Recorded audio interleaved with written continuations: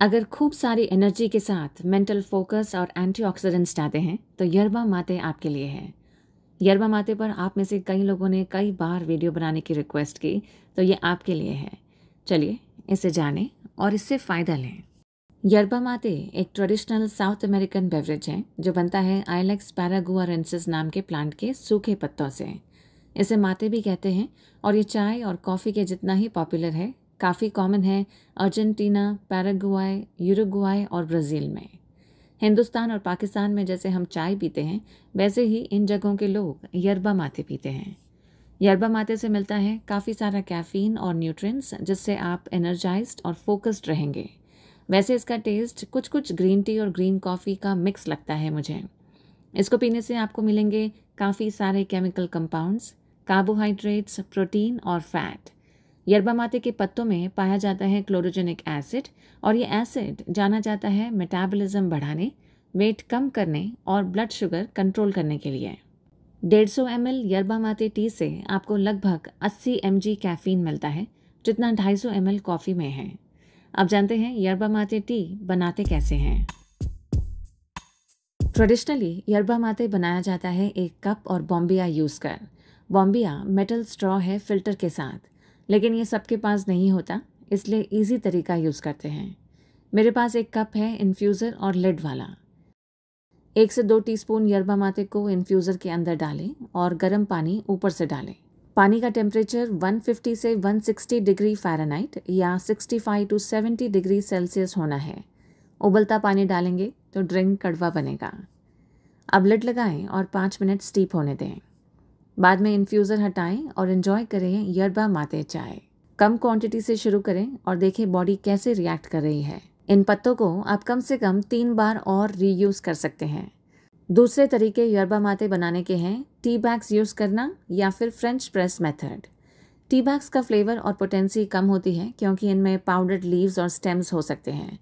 अगर आपको यरबा माते बनाने के बाद फ्लेवर स्ट्रॉन्ग लगे तो थोड़ा पानी और ऐड कर लें. इन जनरल आप थोड़ी सी हनी या दूध डाल सकते हैं टेस्ट बढ़ाने के लिए. पर वेट लॉस के हिसाब से मैं दूध डालना रेकमेंड नहीं करती.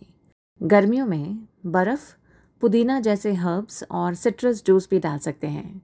यरबा माते टी से मिलते हैं बहुत सारे एंटीऑक्सीडेंट्स वाइटामिन और मिनरल्स जैसे vitamin A C E B complex calcium manganese और जिंक इसमें वाटर सोल्यूबल कैफीन है, इसलिए ये चाय पीते ही आपकी energy mental focus memory concentration और फ़िज़िकल परफॉर्मेंस बढ़ जाता है। इन्फेक्शन से बचेंगे वेट और पेट कम होगा ब्लड शुगर लेवल्स कंट्रोल में रहेंगे आपका रिएक्शन टाइम और अलर्टनेस बढ़ेगा और स्ट्रेस के नेगेटिव इफ़ेक्ट्स कम होंगे। यरबा माते टी हल्का डायोरेटिक है। आपका कोलन हेल्दी रहेगा स्टूल्स सॉफ्ट होंगे और बॉडी डिटॉक्स होगी। अब शेयर कर रही हूँ कुछ पोटेंशियल हेल्थ रिस्क और साइड इफ़ेक्ट्स यरबा माते के।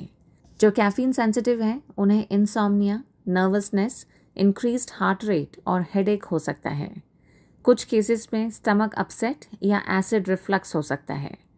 यरबा माथे इंटरैक्ट कर सकता है कुछ मेडिकेशंस के साथ, जैसे स्टिमुलेंट्स ब्लड प्रेशर ड्रग्स और एंटी डिप्रेसेंट्स काफ़ी ज़्यादा पियेंगे तो कुछ मिनरल्स जैसे कैल्शियम आपकी बॉडी में ठीक से एब्जॉर्ब नहीं होंगे।